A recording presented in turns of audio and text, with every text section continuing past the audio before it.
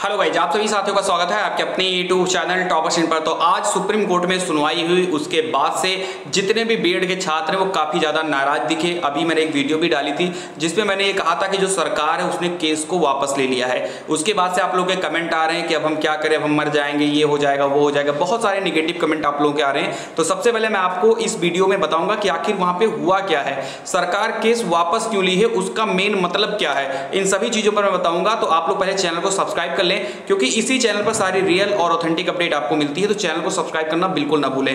फ़िलहाल के लिए मैं आपको बता दूँ, एक एसएलपी जो डाली गई थी बिहार सरकार की तरफ़ से, उस एसएलपी की सुनवाई आज होनी थी। पूरे भारत देश के छात्रों की नज़र थी कि आज जो है बीएड के लिए कुछ अच्छा होगा।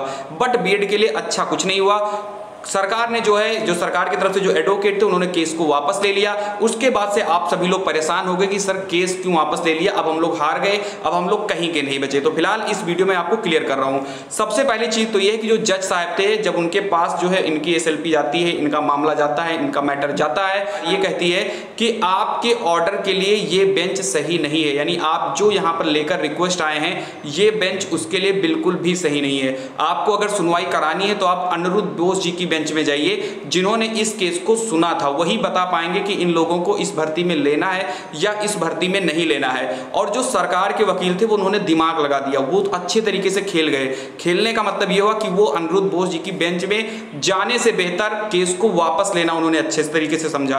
फ़िलहाल मैं आप लोगों को बता दूँ कि अगर अनिरुद्ध बोस जी की बेंच में जाता तो पहले ही सुनवाई में खारिज हो सकता था। इसीलिए जो बिहार सरकार की तरफ़ से जो वकील थे, उन्होंने समझदारी दिखाते हुए ये किया कि उन्होंने केस को वापस वापस कर लिया। और उन्होंने ये कहा है या, यानी उनके जो कहने का मनसा था उनके कहने का मनसा सीधा सीधा यही था कि हम जो है इसको हम फिर से जो है केस करेंगे। हम दोबारा इसको फ्रेश तरीके से तैयार करेंगे और फ्रेश तरीके से हम केस करेंगे और जो अपनी ड्राफ्टिंग है उसको अच्छे तरीके से करेंगे ताकि फिर से सुनवाई हो और शुरुआत से यानी स्टार्टिंग से सुनवाई फिर से हो सके। क्योंकि अनिरुद्ध बोस जी की बेंच में जाता तो ज़ाहिर सी बात है इसको वहाँ पर रिजेक्ट होना था। ये केस वहाँ पर रिजेक्ट कर दिया जाता और फिर ये हमेशा के लिए जो है बीएड के छात्र बाहर हो जाते। तो जो केस मैं आपको बता दूँ, अभी बीएड बाहर नहीं हुआ है। अभी जैसी स्थिति बिहार को लेकर बनी है, पूरे देश को लेकर के बनी है कि सुप्रीम कोर्ट का जो ऑर्डर 11 अगस्त को आया था, वो कब से लागू होगा? तो उसके लिए आप लोगों को मैं बता दूँ कि अभी आपको फिर इंतज़ार करना पड़ेगा।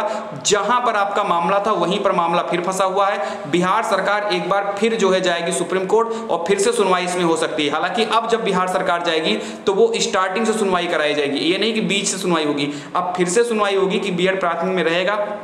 कि प्राथमिक में नहीं रहेगा। तो आप लोगों को घबराने की ज़रूरत नहीं है। हालाँकि बिहार सरकार की तरफ़ से या बिहार सरकार के वकील अब क्या अपना स्टेटमेंट देते हैं, उसके बाद में जो भी चीज़ें क्लियर होगी, वो आपको मैं अपने चैनल के माध्यम से बताएँगे। तो चैनल को आप सब्सक्राइब कर लीजिए। सबसे पहले जो भी बी के छात्र उनको मैं बता दूँ कि आप लोग अभी बिल्कुल भी बाहर नहीं हुए हो। सरकार ने केस को वापस लिया। अगर उसको डिस्पोज कर देती रिजेक्ट कर देती, एकदम निरस्त हो जाता वो केस तब का माना जाता कि आप बाहर हो चुके अगर सरकार ने केस वापस लिया है, इसका मतलब वो नई प्लानिंग के तहत अब फिर से सुप्रीम कोर्ट में केस करेगी। तो ये रही आज की अपडेट। बाकी तेरह तारीख को एक और अहम सुनवाई होने वाली है। उस पर भी पल पल की अपडेट के लिए आप चैनल को सब्सक्राइब करें। जय हिंद।